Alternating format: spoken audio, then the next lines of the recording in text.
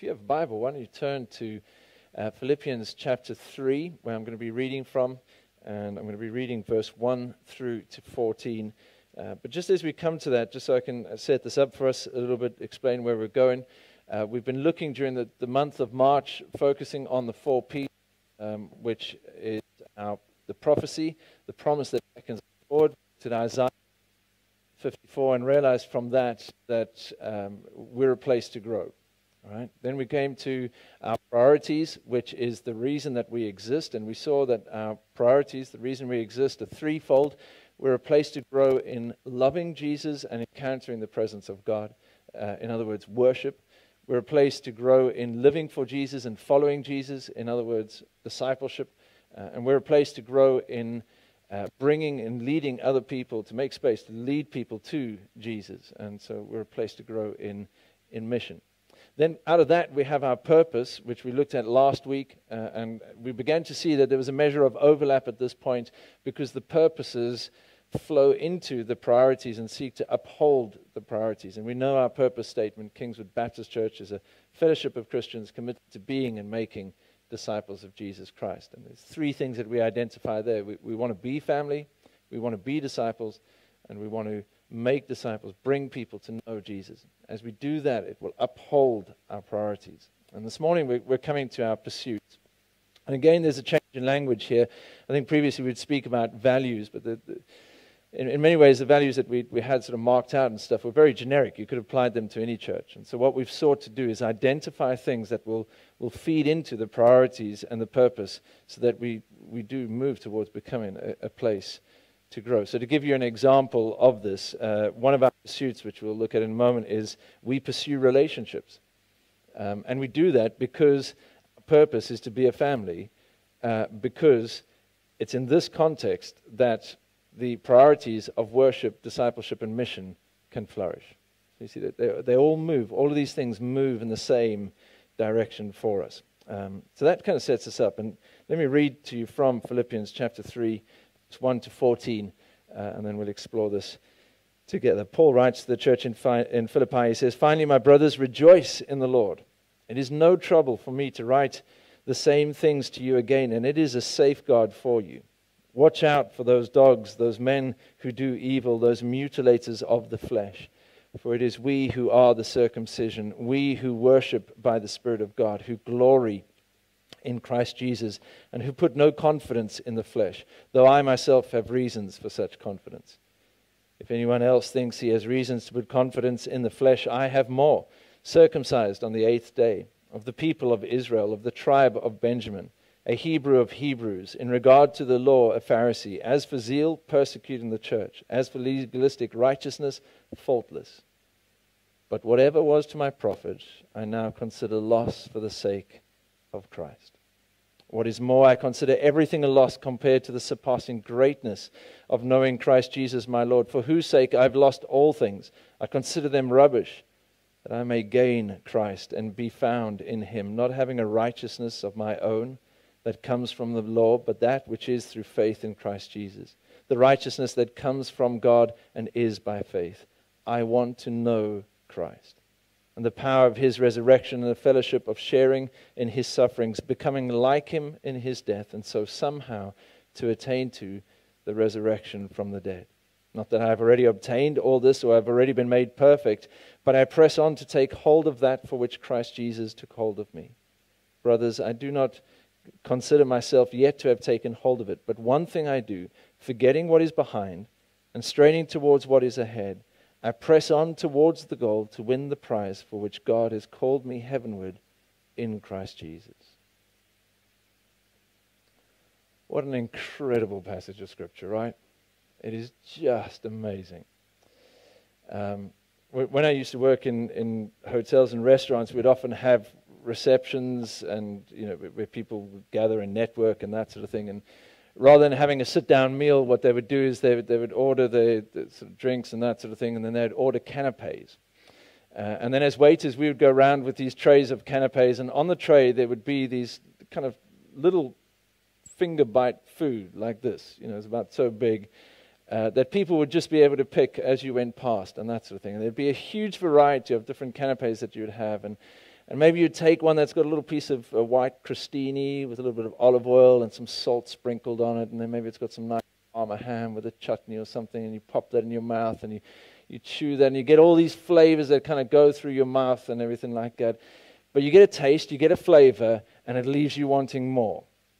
All right? It leaves you wanting more. That's what this morning is going to hopefully be. All right?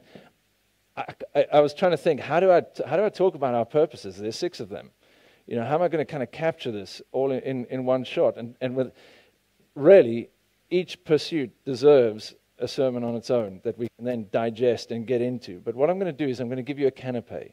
All right? I'm going to give you just a little taste, which as you taste it and savor it, you'll think, oh, I want to know more about that. And then you'll be able to take, unpack the preach this week, and you'll be able to study a little bit deeper about what does this mean for me, how does this impact me, and so on. Does it make sense? All right, so here's a whole lot of different little canapes for you. Uh, and it begins with looking at uh, what it actually means to pursue something. That's what we need to settle first. Because it's, it's okay to say, okay, these are our pursuits, but what does that mean exactly for us? And, and Paul's passage here in, in Philippians chapter 3 just gives us a beautiful picture into this, an idea of what, it, what does it mean for us to pursue. As you, you cast your eyes down the passage, certain things come to the, to the forefront. To, to pursue means to have a specific goal in mind. Verse 10, Paul says, I want to know Christ. It's Paul's very specific goal that he has in mind, which always blows my mind. Whenever I read that verse, I think to myself, how can Paul say that? I mean, that, this is Paul that we're talking about. Paul that meets the risen Lord Jesus on the Damascus Road. Paul that writes most of the New Testament. Paul that reflects back on the cross and explains to us the theology of the cross and the, how we put it into practice in our lives. Paul, who was able to take the gospel and apply it to people's lives in a whole variety of different contexts. If there was anybody in the New Testament who knew Jesus, it was Paul. And he's saying here, no, no, no, I want to know Christ. He's got a very clear goal in mind, a clear destination that he's got marked out in his mind for him. He's single minded in his purpose. As we pursue something, we need to have a goal in mind. Otherwise, you'll be running this way and that way. You need to know where it is that you're going. The second thing about pursuing is that you need to acknowledge that you ha- haven't arrived yet. Right? If you're chasing something, it means that you're still in progress, right? You haven't actually got there yet. And Paul says, I think it's in verse 12, he says, Not that I have already obtained all of this. Which, again, just blows your mind because here's Paul who knows Jesus intimately and he's saying, I haven't arrived yet. You know, in other words, there's still more to know about Jesus. There's still more to grow in Jesus. There's still more to experience in a relationship with Jesus, walking with him and, and, and following him.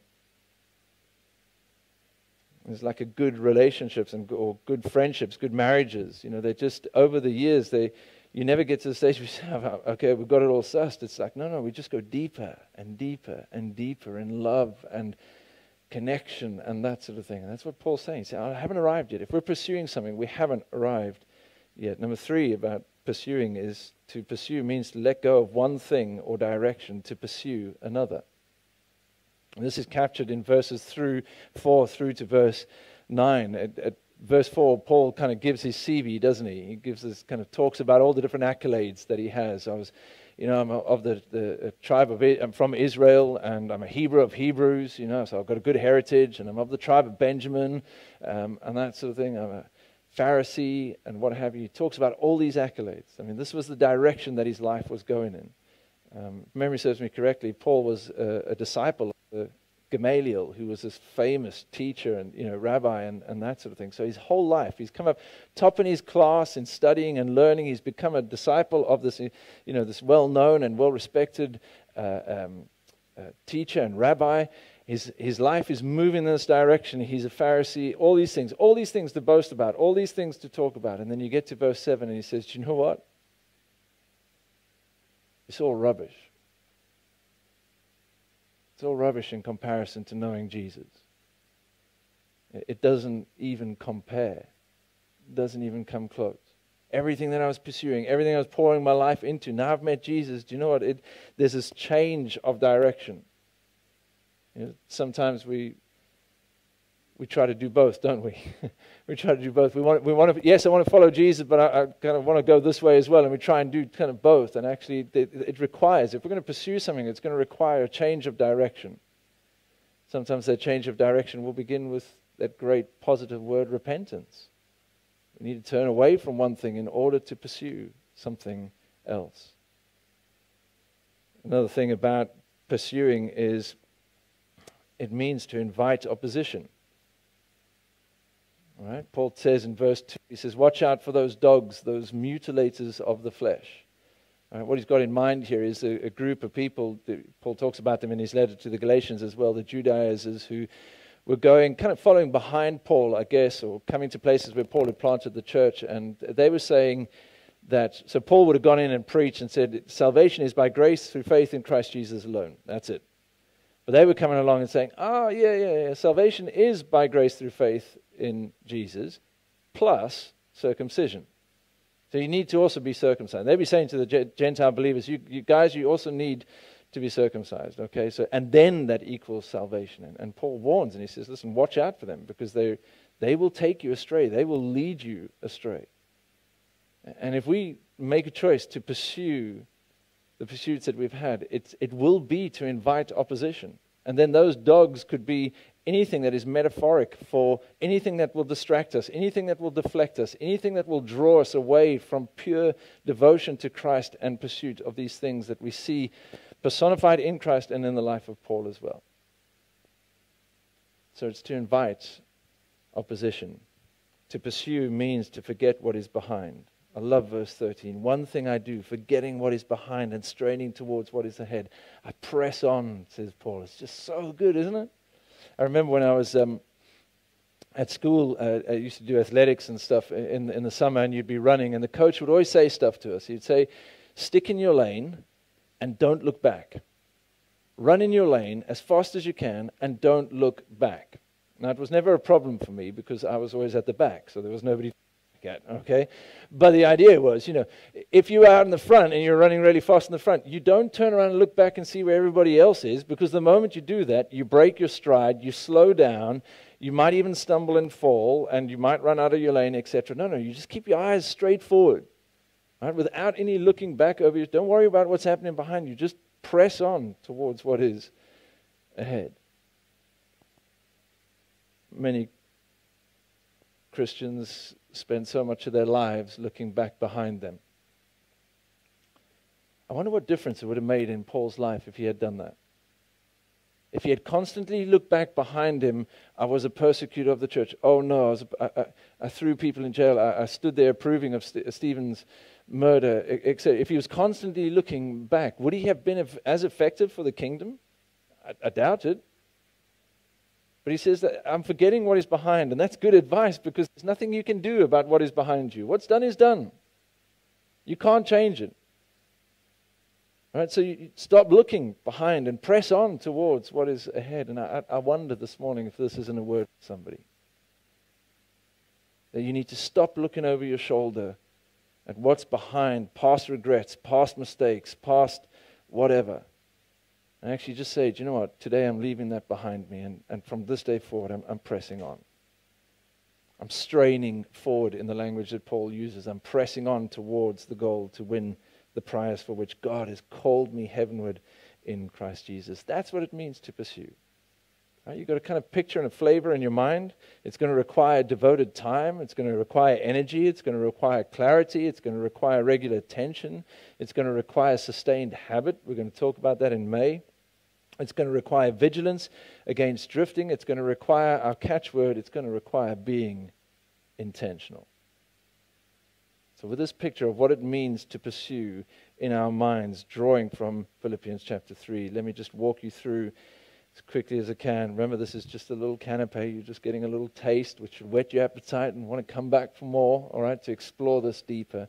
These are our six pursuits. Firstly, and they're in no particular order, okay? They're just the way they are in the card we put them together.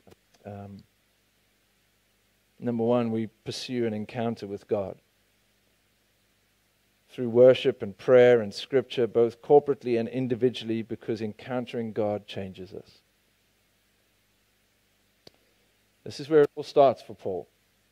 Acts chapter 9. There he is, breathing out his murderous threats against the church. He's got in his fist the, the stuff that he's going to take so they can go and take Christians and put them into jail. And he's on the Damascus Road. I, I guess he's going so quickly, there's a bit of a dust trail that's coming up behind him, you know, as he's walking along. All the things he's going to do to the church and what have you. And then the risen Lord Jesus meets him. And there's this blinding light that is around him, and he's driven to his knees, and he hears this voice, and he asks this great question. he says, Who are you, Lord? And Jesus says, I'm Jesus, who you are persecuting. And then after that, he, he gets up, and Paul, who saw things so clearly, who saw things with such great clarity about what he was about, now he's blind. And he's got to be led He's not going to be leading anybody to jail. He's got to be led blind to this house on Straight Street where he, he prays. And I, I wonder if it's in, see, it's maybe just not just the moment where he's um, on his knees in the, the road to Damascus. Maybe it's in these three days that he prays and that he fasts. That he encounters the overwhelming grace of God, so that later on he could write to the Philippians and say to them, Hey, man, you know, all of that, my life before, it's just rubbish in comparison to knowing this Jesus. And the encounter changes him. And, and he's never the same again. Radical change of direction in his life. And I've said it many, many times before. I, I believe passionately that it is impossible to encounter the presence of God and remain the same. One of two things will happen.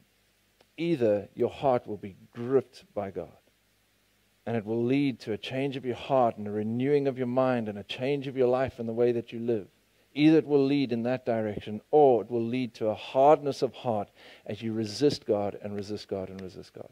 But you never remain the same. It is impossible to encounter the presence of God and simply just remain the same. Either it's hardness of heart or even either it's a tenderness of heart towards God. And wherever you look in Scripture and throughout church history, you see this again and again and again. People encountering God. Moses at the burning bush. Ezekiel as he had his supernatural call to be a prophet. Uh, John Wesley as he's, after listening to a treatise on, on Romans 8, and he's walking down Aldersgate Street in, in, in London. It's quite surreal. You can actually go to the spot, and there's a plaque on the wall by the church, and you can stand and you can think, this is where John Wesley had his heart strangely warmed. He wasn't praying for it, wasn't looking for it, nothing. He just he encountered God in this moment, and the Methodist revival was birthed in that place. It changed the course, historians will say, of English history. Or Evan Roberts, just in a place of prayer, coming under this deep burden to want to pray for the churches. And led to this outpouring.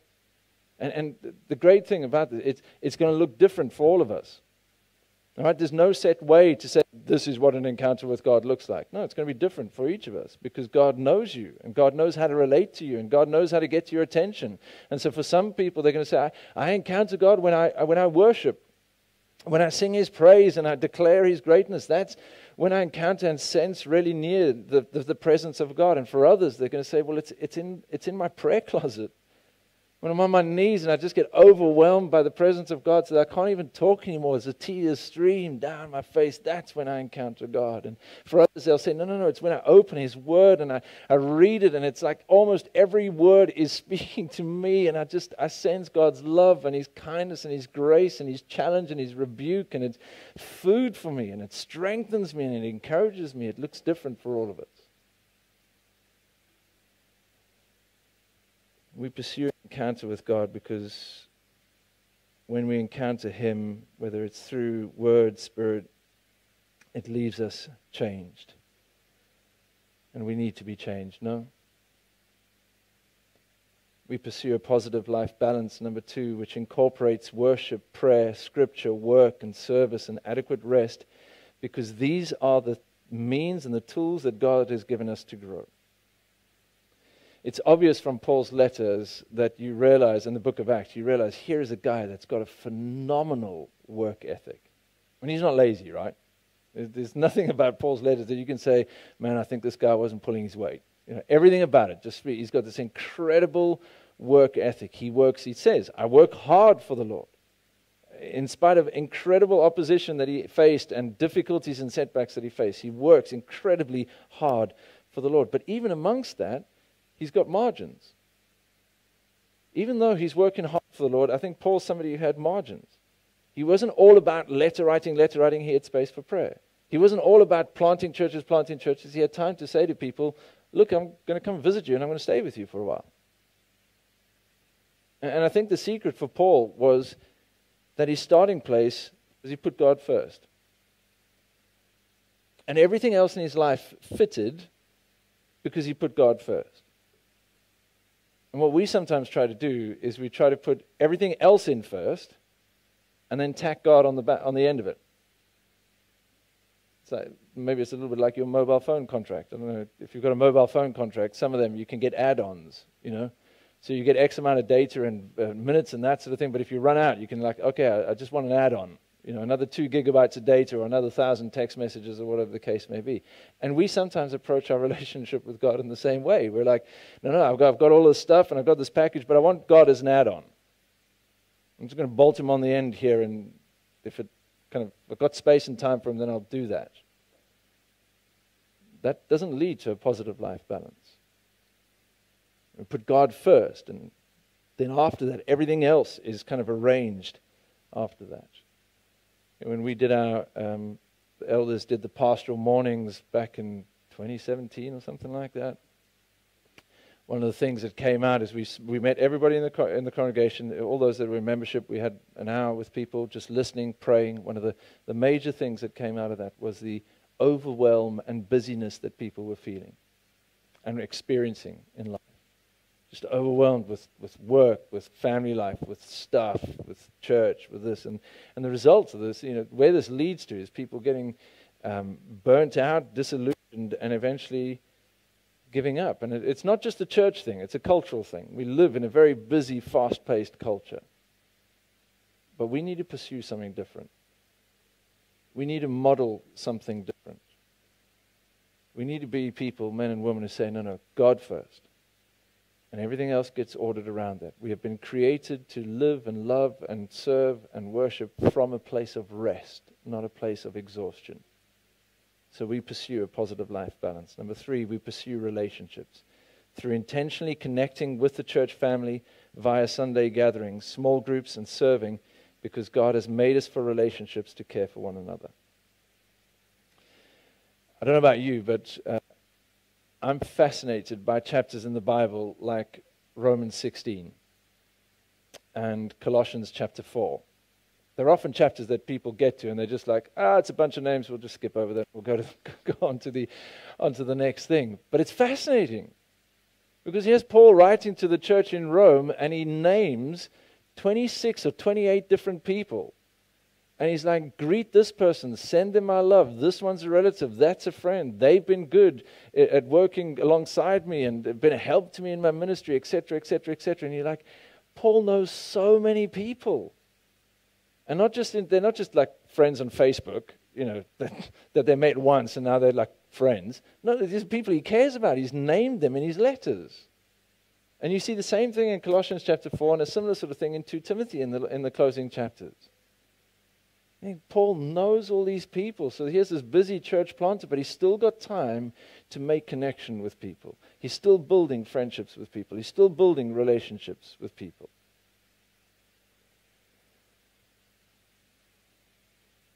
And before you think, okay, so that means I need to be friends with lots of people in church, and then I'm okay, it didn't stop there for Paul.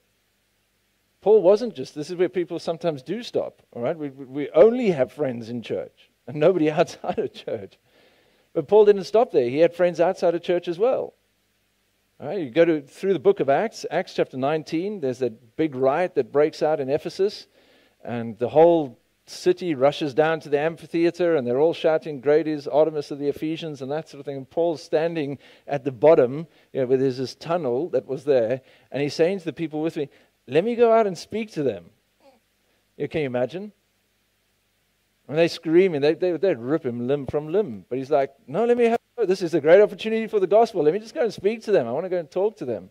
And a message comes through to him from one of the officials of the city who isn't a Christian. And Luke includes in verse 31 of chapter 19 a friend of Paul's. Paul didn't just hang out with Christians, he hanged out with those that weren't yet Christians. Right, and built connection with them. The same thing happens when you read later on in the chapter when he's in the book when, when he's moving from Jerusalem to Rome. Luke mentions the name of the centurion guard who's guarding them, Lysias. I think, if memory serves me correctly, his name is. And, and it describes how this guard, centurion, shows Paul great favor and great kindness. Why would he do that? Probably because Paul each morning said, How you doing? Fist bump. All right. Uh, praying for you today. All right. How's the family and everything like that? Anything you need? Is there anything that I can do for you? You know, he's building this connection with this guy. And I think the reason that Paul does that is because Paul understood that the gospel moves through relationships. There's nothing wrong with some of the, the, the work that we do in terms of distributing leaflets and door knocking and, and that sort of thing. That's all seed sowing, all right, and it's important. But the gospel moves through relationships. The gospel message of Jesus Christ moves through relationships. And Paul knew that. Paul connects with people. And so we pursue relationships. And again, you see how this begins to get interwoven and intertwined because, well, you can only have space for relationships if you're pursuing a positive life balance so that you've got margin in life to build relationships with people. Right? So it all begins to kind of come Paul, the great prolific church planter and theologian, still makes time. He's not too aloof and too distant. He still makes time to build relationships with people. Number, I think we're at four. Four. You getting full yet with your little canapes? Are you still hungry for more? Yeah, okay. All right, good. All right, we pursue generosity through investing in the church, both through sacrificial and cheerful financial giving and investing our time using our gifts to build the church because God has given so generously to us. We pursue generosity. There's a strange thing uh, sometimes I've come across in church um, where we sometimes think with an either or mentality. So people will say things like, um, I give financially to the church, but I don't serve in the church. Or I serve in the church and use my gifts in the church, but I don't give financially to the work of the kingdom. As if doing the one excuses you from the other. So I, it's like either or. And you don't see that in Jesus' teachings. You don't see that in the life of Paul and his teaching. It's not an either or, it's both and. The passage we're going to look at in a couple of weeks as we look at discipleship and, and money will be 2 Corinthians chapter 8 and 9. And, and here Paul explains to the church, know, talks about the, the joy of giving and encourages their generosity and lays down certain principles. He says, Your giving as you give, it needs to be proportionate. So, so what you have, your giving needs to be proportionate to that. It needs to be systematic. Uh, in his first letter to the Corinthians, he says, listen, do a collection each week so that when I come, it's not going to catch you by surprise. You know, so do this. Be systematic about this. Uh, give sacrificially. Right? And above all, give cheerfully. Right? Give cheerfully. Um, but he doesn't stop there in terms of talking about financial giving. If you read through his other letters, he will say things like, Imitate me as I imitate Christ Jesus. And then he talks about the example that he's setting about how he works hard, how he serves hard. So he's not just about kind of uh, saying, no, no, you give and then you don't need to worry about serving. Paul's saying, no, no, we do both. And both of these things he then grounds in the gospel. So he says, for, for you know the grace of our Lord Jesus Christ was rich, for your sake he became poor, so that through his poverty you might become rich. Paul connects our giving to the gospel. He connects our giving to the cross. But at the same time, he connects our service in the cause of the kingdom to the cross as well. Because all we have to do is look at the cross and see how God has served us in Christ Jesus so magnificently. And that should then compel us to want to serve others in the same way. It's not an either or, it's a both and. And as I say, we'll explore this in a bit more detail as we look at discipleship and giving and money in a couple of weeks' time, but we pursue generosity. How's God going to stretch us? How's God going to stretch us here? Number five, we pursue personal witness through our front line, always ready to share our story and praying specifically for people to come to faith because this is the commission that Christ gave us.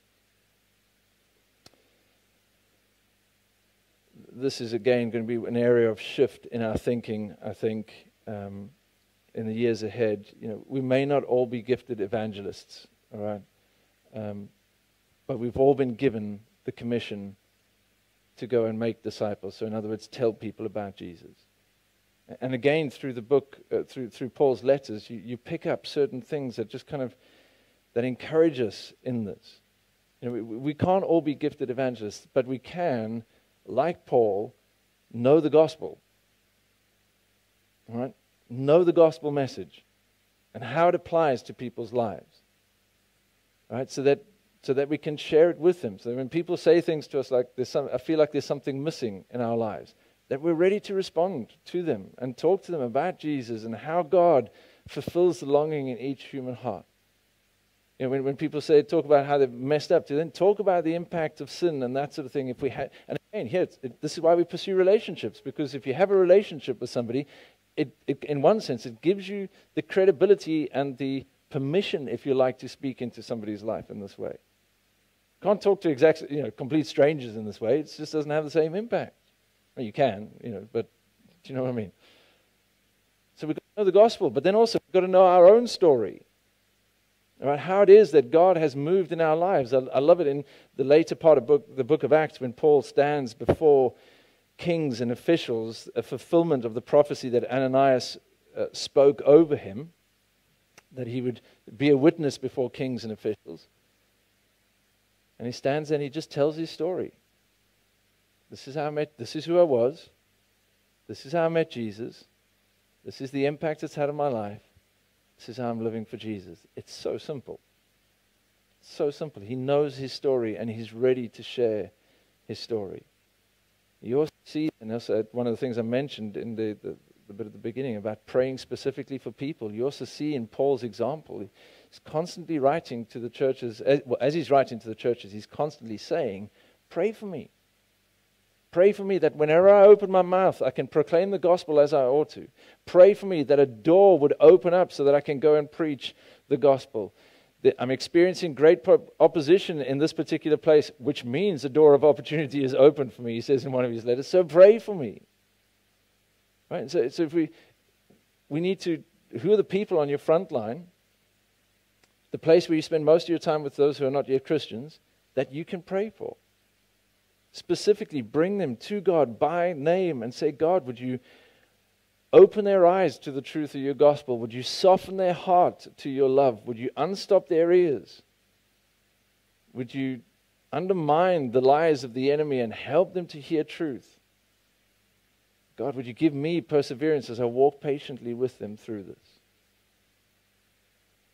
We pursue personal witness. I said it a couple of weeks ago in in uh, in another service. You know, one again, this is where a shift is going to need to take place. You know, we we've often relied as a church on on a, a team of people, the evangelism team, who who do hold, you know, organize events that we have at church and, and that sort of thing by a few people um, that are then attended largely by Christians.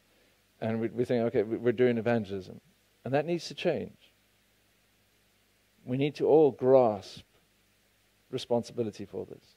All of us know people who don't know Jesus. All of us have a front line, whatever it might be, whether it's for family, whether it's friends, whether it's a place, a hobby, or whatever the case may be, uh, whether it's at school, whether it's at university. We, we all have a front line, a place where we can be ambassadors for Jesus. And the final one is we pursue a life of sacrifice through picking up our purpose, our cross, and following Jesus, because this is what we believe it means to follow Jesus. And this one's really short because we've covered this earlier on during the year. But this one, if at any point during what I've said over the last half an hour, you've thought to yourself, nah, nah sounds like too much hard work. Oh, those pursuing stuff, I just don't think I'm up for that, all right? This one comes back and encourages us. We live a life of sacrifice. It's, it's not about what, what, what we want, what we like. It's about following Jesus with obedience.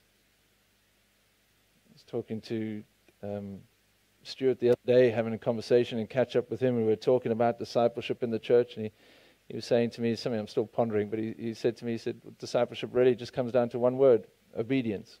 Full stop. That's it.